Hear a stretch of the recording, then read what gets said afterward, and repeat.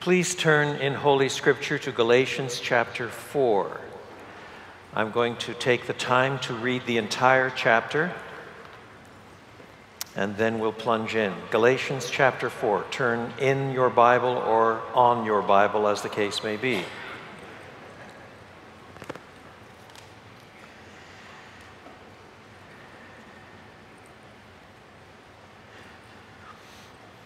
Hear then what Scripture says.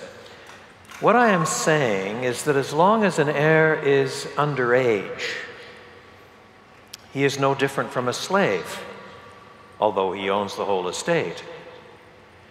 The heir is subject to guardians and trustees until the time set by his father. So, also, when we were underage, we were in slavery under the elemental spiritual forces of the world. But when the set time had fully come, God sent his son, born of a woman, born under the law, to redeem those under the law that we might receive adoption to sonship. Because you are his sons, God sent the Spirit of his Son into our hearts, the Spirit who calls out, Abba, Father. So you are no longer a slave, but God's child. And since you are his child, God has made you also an heir. Formerly, when you did not know God, you were slaves to those who by nature are not God's. But now that you know God, or rather are known by God, how is it that you are turning back to those weak and miserable forces? Do you wish to be enslaved by them all over again? You are observing special days and months and seasons and years. I fear for you that somehow I have wasted my efforts on you. I plead with you, brothers and sisters, come, become like me, for I became like you. You did me no wrong. As you know, it was because of an illness that I first preached the gospel to you. And even though my illness was a trial to you, you did not treat me with contempt or scorn. Instead, you welcomed me as if I were an angel of God, as if I were Christ Jesus Himself. Where then is your blessing of me now? I can testify that if you could have done so, you would have torn out your eyes and given them to me. Have I now become your enemy by telling you the truth? Those people are zealous to win you over, but for no good. What they want is to alienate you from us so that you may have zeal for them. It is fine to be zealous, provided the purpose is good, and to be so always, not just when I am with you. My dear children, for whom I am again in the pains of childbirth until Christ is formed in you, how I wish I could be with you now and change my tone because I am perplexed about you. Tell me, you who want to be under the law, are you not aware of what the law says? For it is written that Abraham had two sons, one by the slave woman and the other by the free woman. His son by the slave woman was born according to the flesh, but his son by the free woman was born as the result of a divine promise. These things are being taken figuratively. The women represent two covenants one covenant is from Mount Sinai and bears children who are to be slaves. This is Hagar. Now, Hagar stands for Mount Sinai in Arabia and corresponds to the present city of Jerusalem because she is in slavery with her children. But the Jerusalem that is above is free, and she is our mother. For it is written, Be glad, barren woman, you who never bore a child. Shout for joy and shout aloud, you who are never in labor, because more are the children of the desolate woman than of her who has a husband. Now you, brothers and sisters, like Isaac, are children of promise. At that time, the son born according to the flesh persecuted the son born by the power of the Spirit. It is the same now. But what does Scripture say? Get rid of the slave woman and her son, for the slave woman's son will never share in the inheritance with the free woman's son. Therefore, brothers and sisters, we are not children of the slave woman, but of the free woman. This is the word of the Lord. Let us pray. And now may the words of my mouth and the meditation of all our hearts be acceptable in your sight, O Lord, our strength and our Redeemer. For Jesus' sake. Amen. Many voices in Western culture view Christianity as an enslaving religion. It loves to tell us what we can and cannot do. It treats us like children, like slaves. This stance has been given fresh and articulate life in the writings of Charles Taylor, Canadian cultural commentator who has written numerous influential books. In his volume, A Secular Age, he says that one of the things that characterize contemporary secularism is our commitment to authenticity. And by authenticity, he is referring to living out your self chosen identity. So you can choose what you want to be, you can choose your identity. You can choose your race now, according to some people. You can choose your gender. You can choose your lifestyle. You can choose your vision of marriage. You can choose your economic goals. You can, you can choose your nationalism. You can, you can choose anything.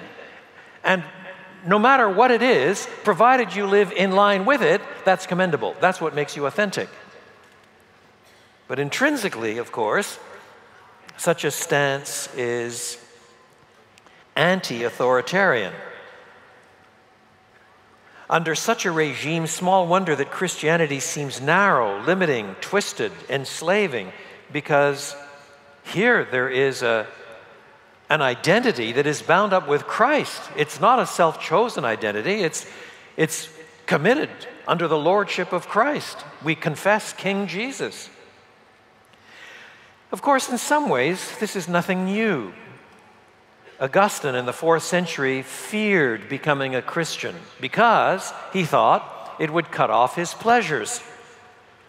Only after he was converted could he look back and state the sublime truth that we human beings are restless until we find our rest in God. Or, as one of the converts of the 1970s put it in this country, after he had burned himself out, choosing to do whatever he wanted in every arena of life. He said, We took what we wanted, and then we found we no longer wanted what we took. And suddenly, freedom and slavery do not seem like such easy tags after all that you can throw around thoughtlessly. You pursue freedom and discover you are, you are enslaved you pursue a certain kind of slavery and you expand into a great and glorious gospel freedom. According to the Bible, what starts off looking like the most amazing freedom regularly ends up as the bitter slavery of defeat, despair, in brief, enslavement. And what appears to be a religion of slavery turns out to be the glorious freedom of the sons and daughters of God. Now, in our chapter, Galatians 4, Paul introduces us to fresh dimensions of the antithesis between slavery and freedom in order to further his exposition of the gospel of grace. These fresh dimensions of the antithesis between slavery and freedom, he anchors in the Old Testament itself. We are to understand the text aright. Look at verse 21. Tell me, you who want to be under the law, are you not aware what the law says? Or again, verse 30. But what does Scripture say? So he is anchoring his analysis of the antitheses in the biblical text itself. I think it will be helpful to follow the thought of this chapter in three parts. Number one, the glory of turning from enslavement to freedom. Verses 1 to 7. Now, I should really say something about slavery in the first century and slavery in American history because they're not exactly the same. And so sometimes the associations of the word slave or slavery are different for us than they would have been for Paul. So forgive me a small excursus. The great scholar Thomas Sowell, in his books on culture and slavery, have pointed out that every major world culture had some kind of slavery until the evangelical awakening. So the Hittites had slaves. The Chinese had slaves. Egyptians had slaves. Europeans had slaves. S slavery was a de facto cultural phenomenon.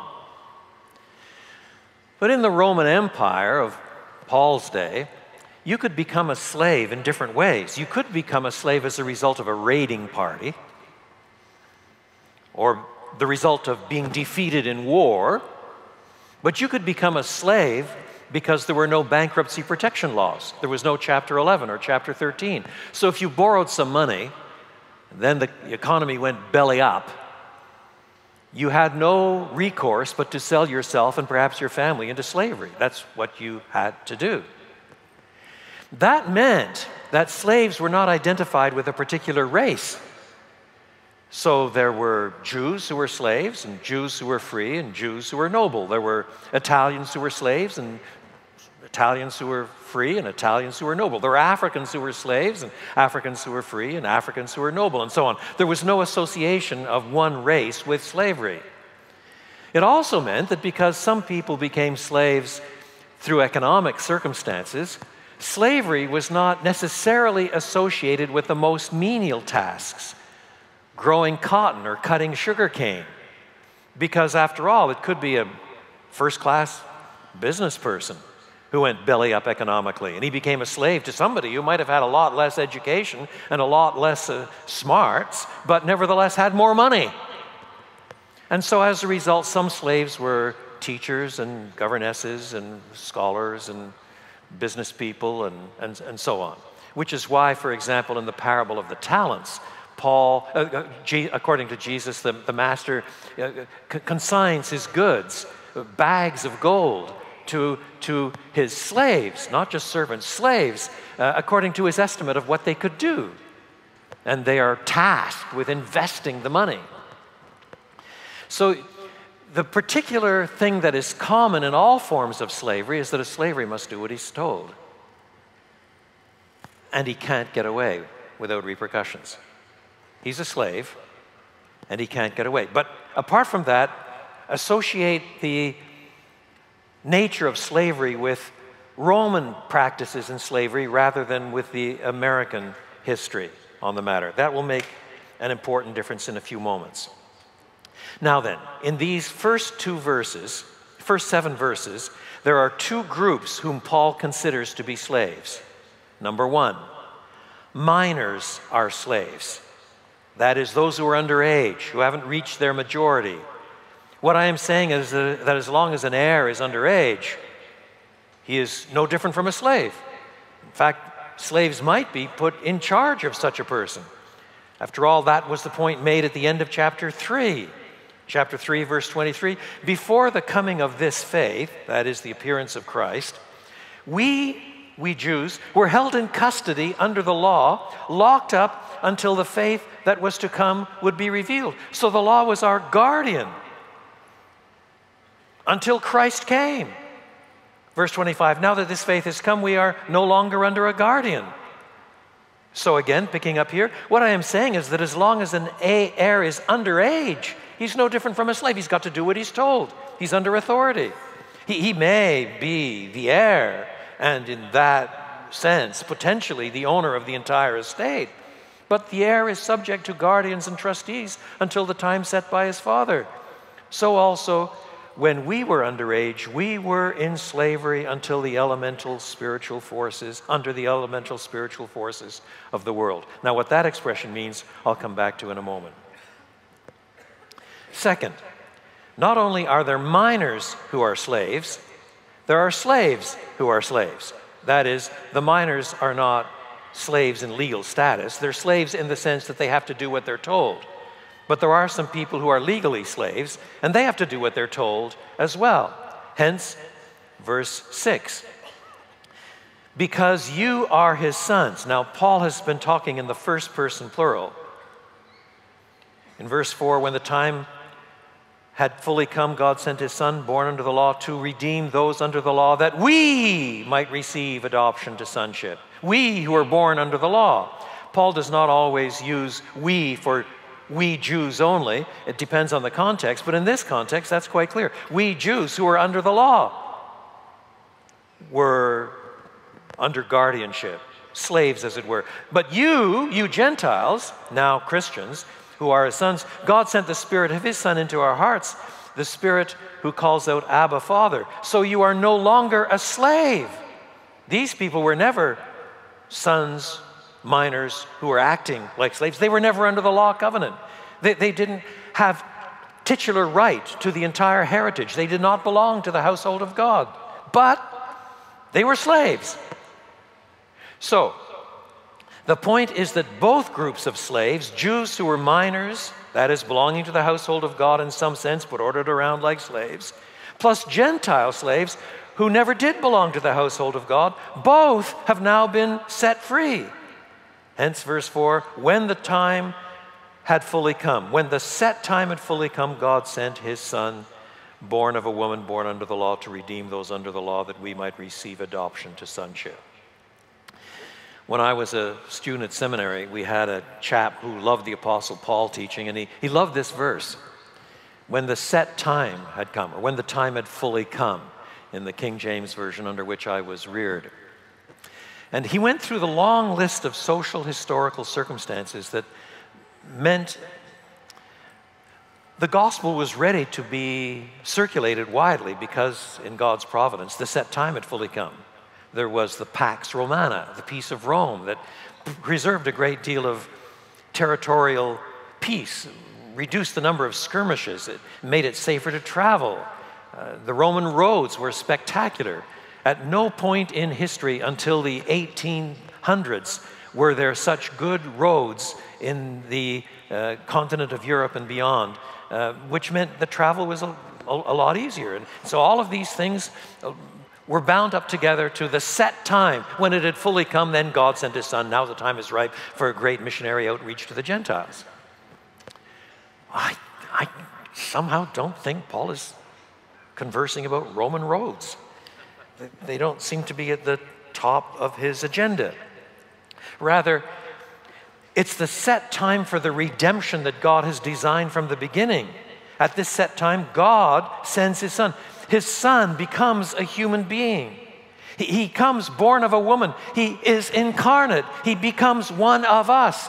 He is born under the law in all of its promise and limitations to redeem, to liberate those under the law. He comes as the Son now enslaved under the law to redeem those who are under the law so that they might receive the adoption of sons. When we hear the word adoption, we conjure up a mental picture of a couple deciding to adopt a, a three month old, two week old, six month old, perhaps a four or five year old but adoption in the ancient world was much more commonly bound up with uh, adopting adults. Uh, you recall that um, Abraham wanted to adopt, as it were, Elimelech and make him his son. And, um, and uh, when a, a man or a woman became a son or a daughter by adoption, then what was clear is they had all the rights and prerogatives and responsibilities and freedoms of a, of a natural born son. So, so, what we're really being told is that, is that these slaves, whether Jews who are minors or Gentiles who never were part of the household of God, they are the ones who have now been made sons of the living God. So you are no longer a slave, but God's child. And since you are his child, God has made you also an heir. So here is the glory of turning from enslavement to freedom. Biblical Christianity is not to be confused with a bit of ritual and a lot of rules. Rather, it is associated with family relationship to the living God. In fact, there is an unmistakable allusion to the triune God. At the set time, God sent His Son. His Son became incarnate and redeemed us on the cross. And because you are His sons, God sent the Spirit of His Son into our hearts, the Spirit who calls out, Abba, Father. In the design of the triune God, not only God's purposes and intent, and the effect of redemption by the Son, and the application of it by the Spirit, means the entire Godhead is bound up in the redemption of His people to enable us to escape slavery.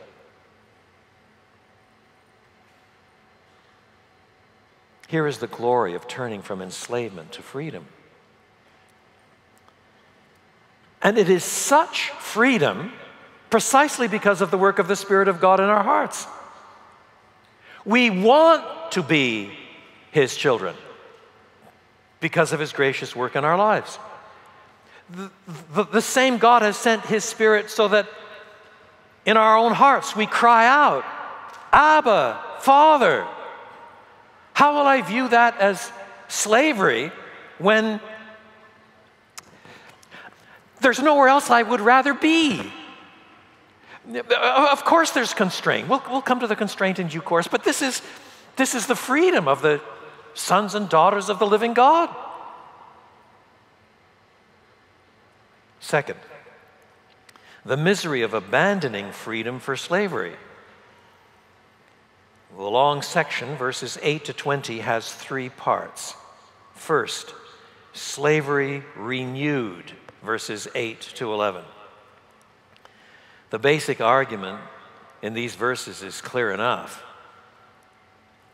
Formerly, when you did not know God, addressing now the Gentile Christians, you were slaves to those who by nature are not gods. Oh, they had their gods, but they're not really gods, they're, they're idols. But now that you know God, you've become Christians. And then Paul says, rather tellingly, or rather are known by God? Which is more important? It is easy to think of our privileges. We know God. That is truly wonderful. But to be known by God, such that God has poured out on His people the seal of the Spirit so as to say, This one is mine. This one is mine. Not only do we know God, but we're known by God.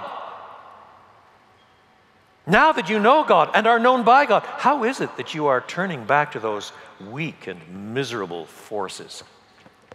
The same expression that is used in chapter 3. And therein lies a minor conundrum that we should think about.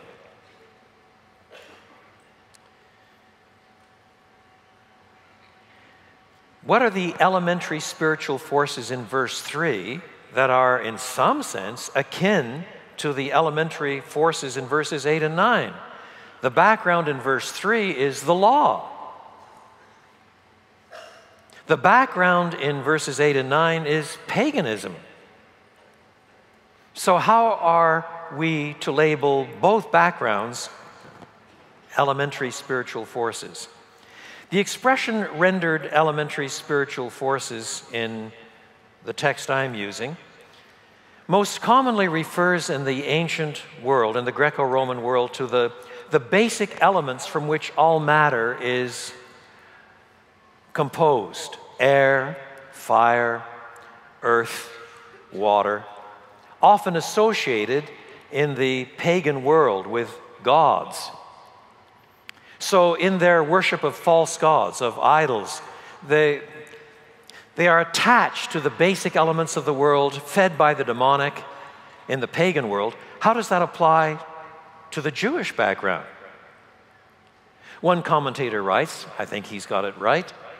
Perhaps Paul wants to suggest that Gentiles under the stoicheia, the elementary forces, share with Jews under the law the same condition of living under a regime involving rules relating to material reality. And that together, these religious realities are all outmoded with the coming of Christ. The Old Testament law was tied so strongly to ritual, sacrifice, what you can eat, what you must not eat, what animals you may sacrifice, what you do with their kidneys, what you eat and what you burn and what you put outside the camp. And this part the priest can eat and not other parts. And that's just the regular daily sacrifices, and throw in Yom Kippur and Passover, and what you do with the temple, who's allowed behind the veil, and on and on and on. It's a, it's a very tactile world, it's a, a material world. The, the basic structures of, of God's disclosing Himself in, in symbol laden ways. And from Paul's understanding, that law was never designed in itself to save, it pointed forward to other things. So, why would you want to go back to that, which has been eclipsed by the coming of Christ, any more than you'd want to go back to your paganism, which was tactile and r- religious in its, in its rules and do's and don'ts and sacrificial systems and bound up with your perception of the physical universe and so on? Any more than you'd want to go to that slavery, why would you go to that slavery?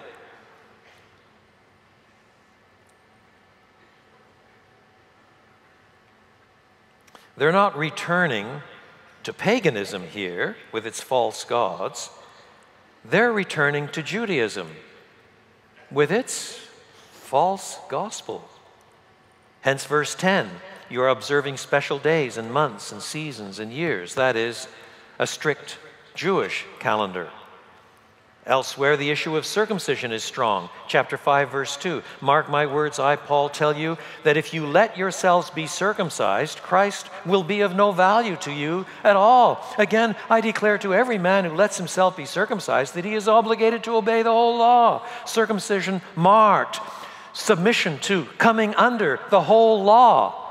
So, if you think that is necessary for your acceptability before God, then if you come under circumcision and covenantal commitment to the whole law, you are really saying that the sacrifice of Christ is inadequate or insufficient. It is not reliable. In some ways, it is deficient.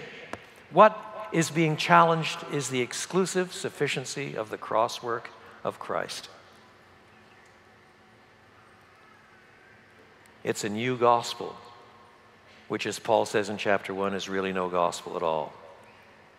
It's damning.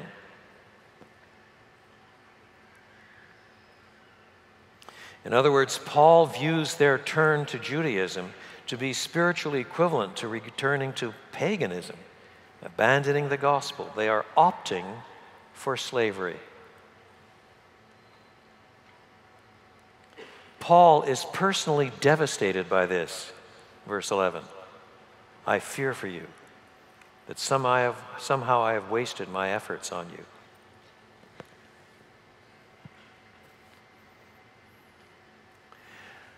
I was in communication with a young man in the last week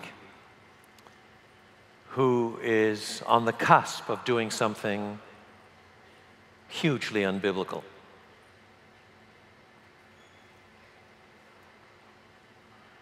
And his question was, Yeah, but aren't you interested in our happiness?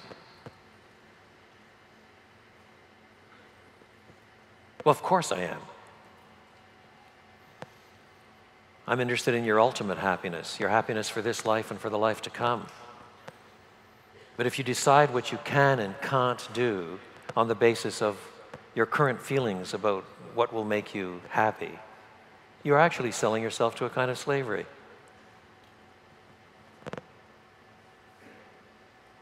And you make people around you who love you and who care about the truth of the gospel equally miserable, as Paul is made miserable. Here, I fear for you, he says.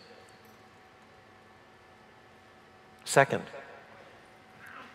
not only slavery renewed, but slavery made attractive, verses 12 to 16. Somehow these Galatians have been snookered into adopting a regimen of religion, of Judaism, as the basis of their acceptance before God. And there are two results. First, a skewed theology. Verse 12. I plead with you, brothers and sisters, become like me, for I became like you. Now, Paul often says that he wants people to imitate him. But usually, when he says such things, the context shows that he's got certain ethical or fundamental uh, Christian values in mind. For example, in 2 Timothy chapter 4, when he's telling Timothy how to act, you, however, know about, about my teaching, my way of life, my purpose, my faith, my patience, my love, my endurance, persecutions, sufferings, what kinds of things happened to me in Antioch. The persecutions I endured, the Lord rescued me from all of them. So that's what you're to imitate in me. Here, what is he talking about?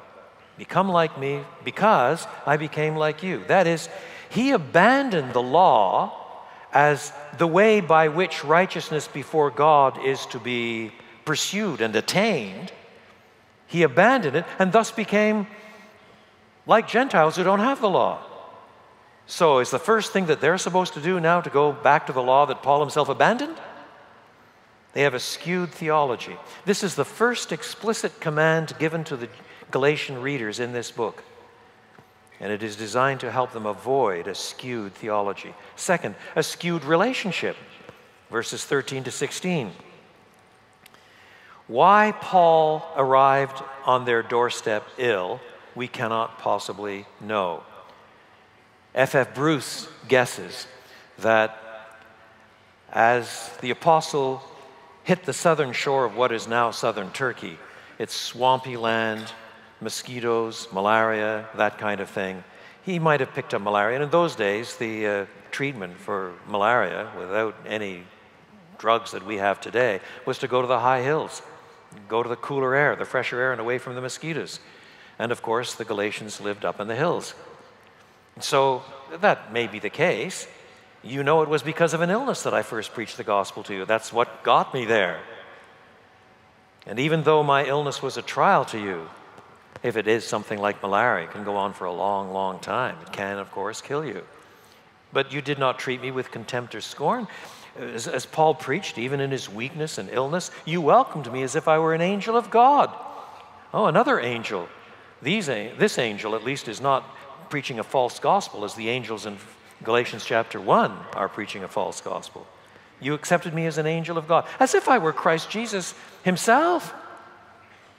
But now, apparently, you've changed your theology so much you want to distance yourself from me. I, I can testify that at one time that's not the way it was. You, you would have gladly torn out your eyes for me. There is an old legend that Paul had very, very bad sight and and so his illness was bound up with bad sight. That's possible. We have no way of proving it. Or it might just be a manner of speaking. I, I testify you would have given me anything. You would have given me your own eyeballs. Anything to help me. But have I now become your enemy by telling you the truth?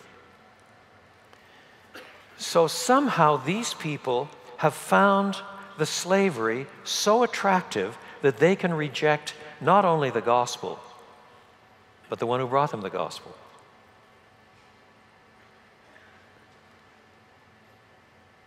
You don't interact with Christian families very long or Christian churches very long before you see things like that. And then slavery made seductive, verses 17 to 20. The wretched situation is depicted in verses 17 and 18, Paul's agonizing response in verses 19 and 20. It hasn't come about by these people just thinking about these things, as it were, but there are false teachers involved. Those people are zealous to win you over. Sometimes you get a lot of baby Christians and they're easily seduced. They're seduced by people who are smarmy, flattering, with a lot of biblical proof texts and not much biblical theology. And one of the things they always try to do is to turn you aside from any sort of allegiance to the one who has taught you the gospel in the first place. Oh, it's good to be zealous. They, they, they really pour it on. But zeal can't be evaluated properly unless you evaluate its purpose. Hitler was zealous. So, likewise, in theology and pastoral care, some people are zealous with very questionable motives. Everything must be tested, finally, by the gospel. What they want is to alienate you from us so that you may have zeal for them, not for the truth, not for testing things like the Bereans to see if these things are so. They want to alienate you from us so that you can be tied in allegiance to them. There are some forms of spiritual direction and spiritual preaching and teaching and so on that ultimately want to build a camp of loyalty much more than they want to plumb the depths of the gospel in the Word of God. It's fine to be zealous, Paul says, provided the purpose is good, and to be so always, to be consistent in this regard, and not just when I am with you. And then you feel Paul's pain. My dear children,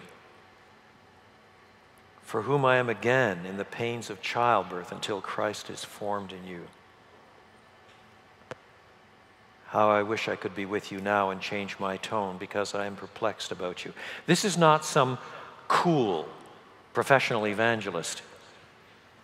He recognizes that sometimes in the preaching and teaching of the gospel, it's like a woman giving birth. It can be so painful.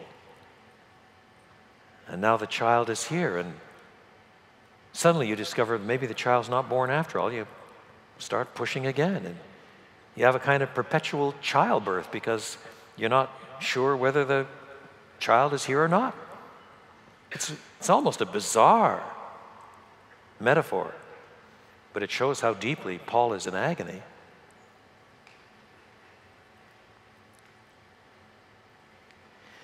How I wish I could be with you now and change my tone because I am perplexed about you. He couldn't send a text message and arrange a time to get on Skype and so sort of see face to face and have a better assessment of where they are. He didn't have some of the advantages of instantaneous communication that we have. Paul wishes he could be there. Give them a hug. Decide whether it's better to issue a rebuke or encouragement to pray with them or against them.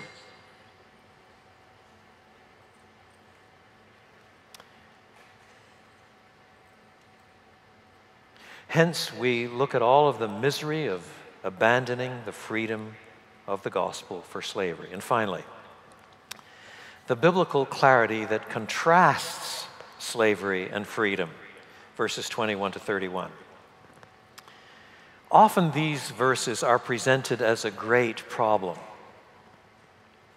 But from Paul's perspective, he is deploying a biblical argument to convince his readers from the Bible of the truth of the gospel. Let me direct your attention back again to verse 21. Tell me, you who want to be under the law, are you not aware of what the law says? Verse 30. But what does Scripture say? So when people find something that is often called allegorical and are embarrassed by what is widely perceived to be questionable exegesis, a bit spongy, then we sort of uh, smile and say, well, you know, it's Paul and he had the gift of the Spirit, so we could say that that's what it meant, but we can't do the same. Or we say, well, it's allegorical, it's figurative, it's, uh, it's a bit spacey. Uh, but it must be an ad hominem argument. He uses that argument not because um, that's what Paul really thinks or that's the way Paul would really handle the scripture. Um, he uses that argument because he knows that that's the kind of argument that they would appreciate. So he's lowered the bar to their level of intellectual attainment. That simply won't account for verse 21 and verse 30. Paul is arguing from scripture. He's rebuking them for not seeing what he sees in scripture.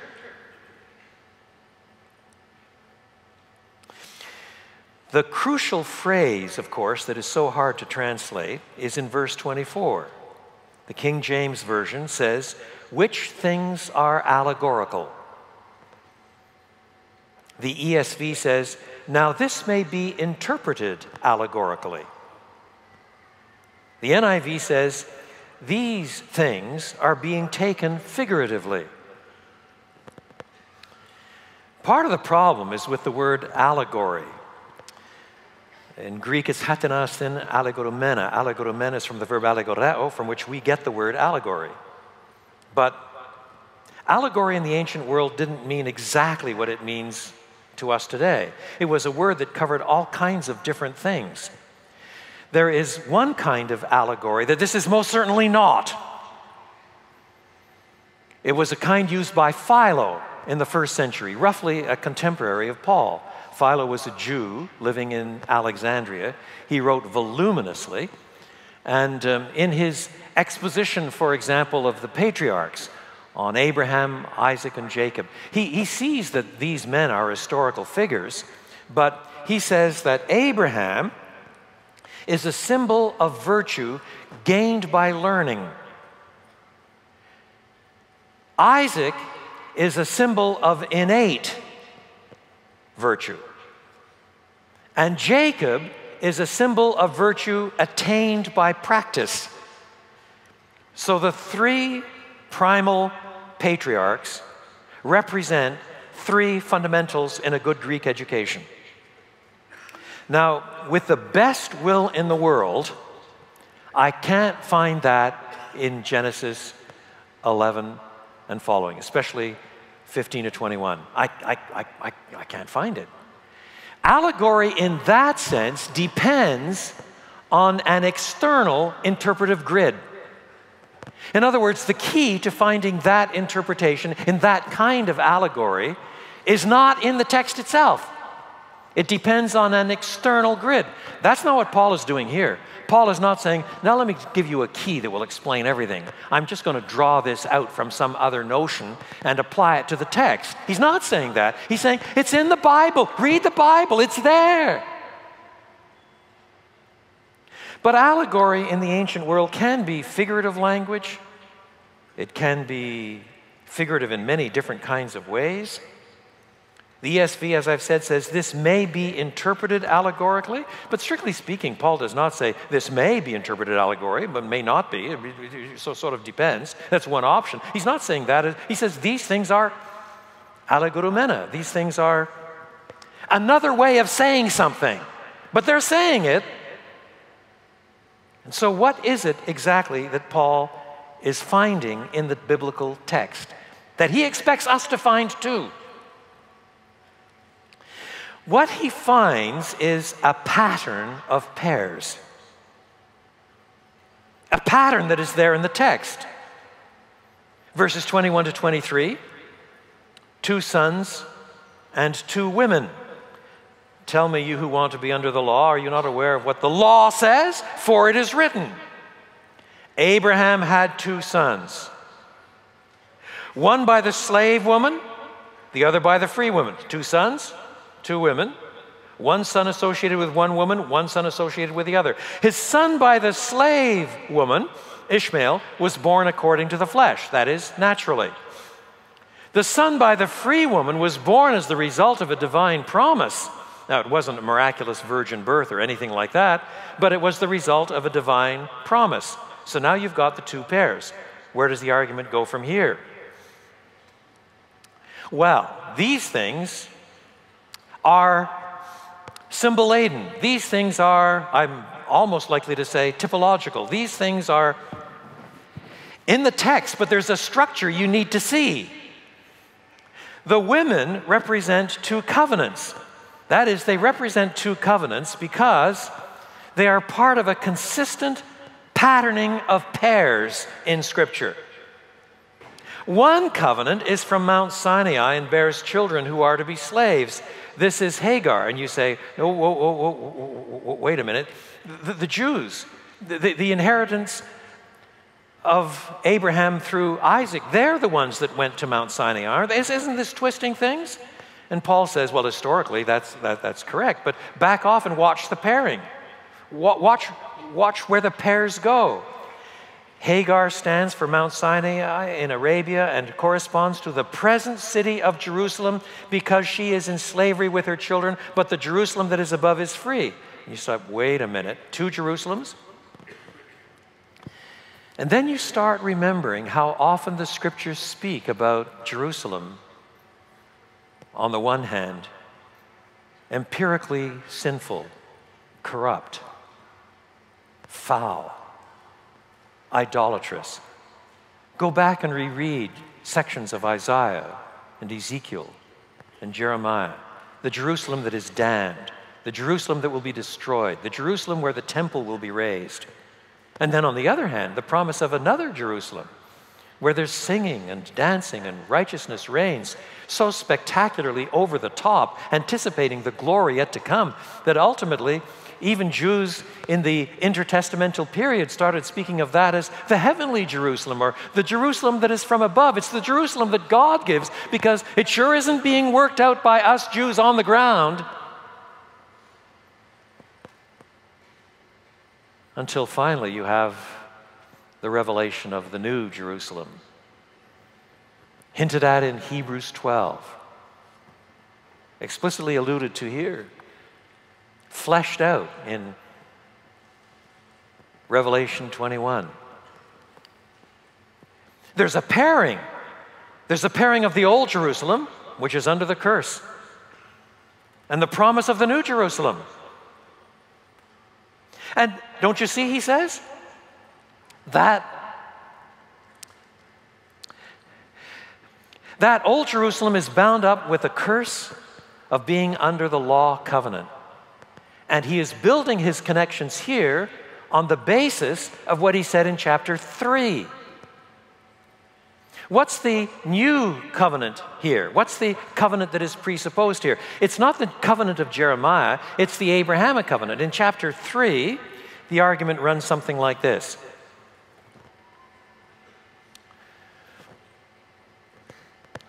Many conservative Palestinian Jews in the first century if they were asked the question, How do you please God? would answer, By obeying the law.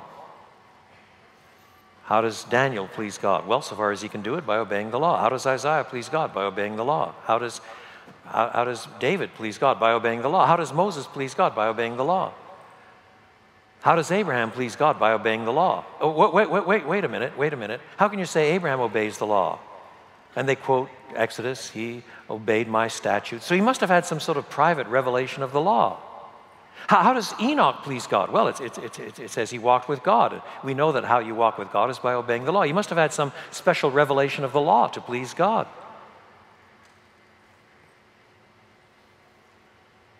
And what is happening then is that the law is being elevated to a point of hermeneutical control. You're reading the whole Bible through the law. And today we have scholars looking at Deuteronomistic history saying the same sort of thing. Cursed is the one who does that, blessed is the one who does that, cursed is the one who does that, blessed is the one who does that, cursed is the one who does that, blessed is the one who does that. That's Deuteronomistic theology, we're told. It shows that it all depends on how you respond to the law. And then you forget that the book of Deuteronomy ends up by not even Moses getting into the promised land. What this law does is show that it doesn't work. It's good, as Paul says elsewhere, but it's not powerful. It's good, but it's not transforming. It's prophetic, but it's not intrinsically transforming and life generating. Don't you see? No, no, no, no. The, the other covenant, the, the covenant that is not associated with Hagar, but that is associated with Sarah, is the Abrahamic covenant, which is fulfilled in the new covenant, in the gospel of Jesus Christ. It's the covenant of promise.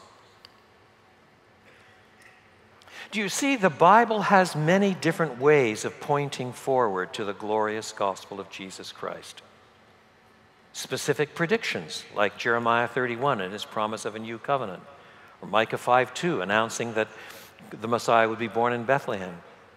Then there are huge typological patterns, all of the things that are said about the temple, until Jesus comes in John 2 and says, that he is himself the temple, the great meeting place between God and sinful people. All the things that are said about priest and sacrifice, Day of Atonement, Passover. Jesus, Paul writes to the Corinthians and says, Christ, our Passover, has been sacrificed for us. So many different ways of anticipating what is yet to come in typology, in predictions, in the sequence argument of Galatians 3 what Paul says there is you cannot elevate the law to this supreme place, the grid by which you understand everything, because before the law was given, the Abrahamic promise was given. And the promise is not annulled by the arrival of the law. The promise is the promise. The promise of, uh, of the Abrahamic covenant must be fulfilled.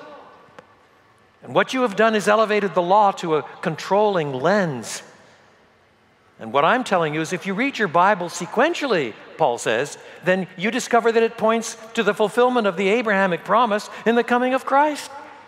And one of the ways that the Bible points forward, Paul here says, is there is a pattern of pairings. A pattern of pairings. And once you see this, it stands out and leaps at you. It was partly what enabled Luther to think as clearly as he did about the antithesis between law and grace.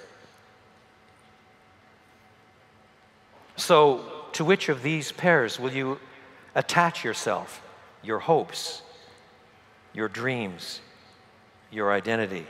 On which side will you ground your confidence? On which side does freedom lie, the glorious freedom of the sons of God? Let me wrap these things together in three or four strands very quickly.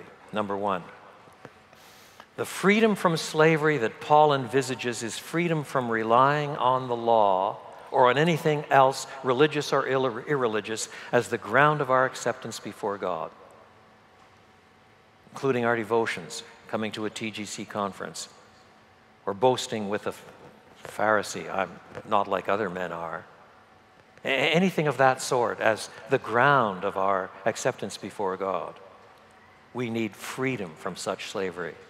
Number two, this is quite unlike what many in the Western world of the 21st century mean by freedom, where freedom is bound up with self chosen, self constructed identities in order to establish our authentic living.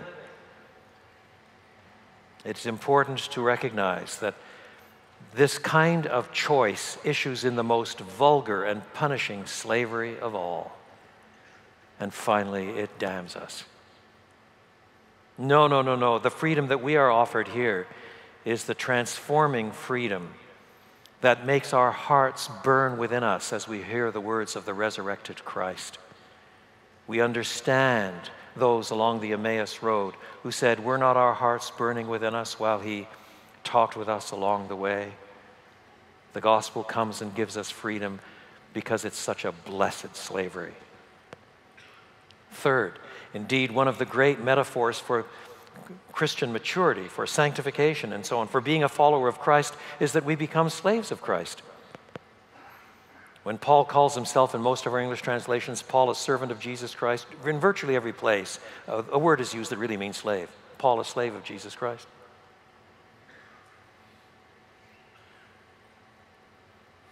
And some of this is best caught in old hymns. Redeemed, liberated, I love to proclaim it redeemed by the blood of the Lamb. Or, make me a captive, Lord, and then I shall be free. Force me to render up my sword, and I shall conqueror be. I sink through life's alarms when by myself I stand. Imprison me within your arms, and strong will be my hand. Let us pray.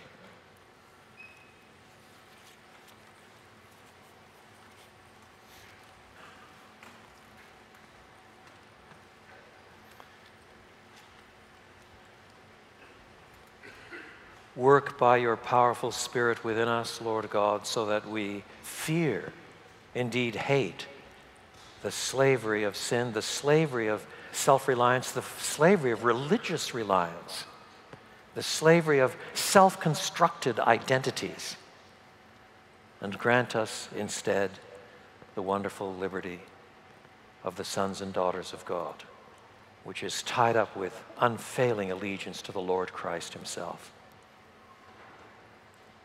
We bless you that He became one of us, a slave, to give us the adoption of sons. Grant that our hearts may burst with gratitude and adoration for Jesus' sake. Amen.